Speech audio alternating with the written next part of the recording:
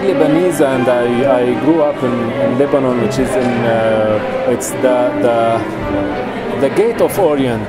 Like it is the the limit between Orient and Occident. We always had this. Uh, uh, this this feeling of culture. Like I grew up between these both cultures. You know, in Lebanon, there is it's one of the small countries which have uh, almost almost equal communities of Christians and Muslims, and also they combine the Western and the Oriental culture. Uh, being, uh, you know, feeling this Oriental Oriental spirit, I think I, I can sometimes uh, express uh, by playing uh, a Lebanese or an Oriental composer because uh, Amirov he wrote this concerto on Oriental themes, concerto for piano on Oriental themes, which is really very Oriental, and I, I think that I, I can feel them very very well. I worked a little bit with the pianist also and and with the orchestra uh, about these. Uh, the same music can be can be played in two different spirits. When you play it with your original spirit, take take out your your uh, your old uh, package of culture. It helps too much. So I'm I'm I'm really enjoying playing this piece, which is really very nice. Sometimes it's it's fun, like uh, you really enjoy it. The, by the way, this is the first time I play this piano concerto, which I, I find really very interesting.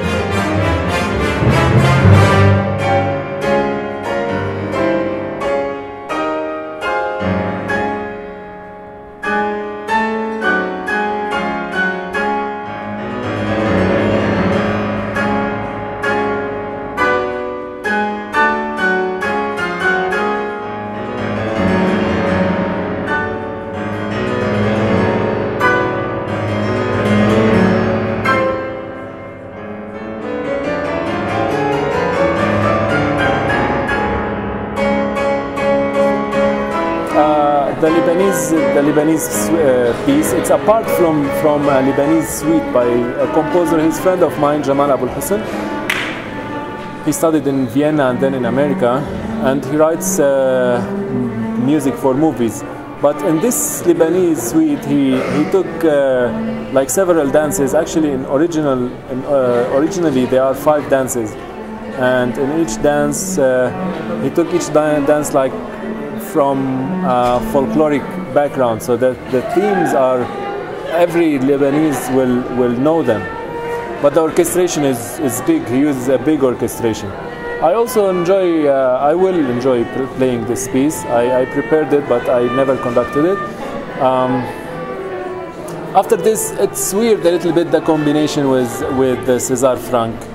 I know this because César Franck he was very conservative in his musical idea ideas and his philosophical ideas, and he was very religious. He spent his life playing in a church, uh, playing Bach music, and this is the only symphony which he wrote. Actually, he, he wrote in music in general. He, he wrote few pieces, but this is the only symphony which he wrote, and he wrote. He, he was he was. Uh, enough mature in age, which makes this symphony very mature from different uh, uh, uh points of view.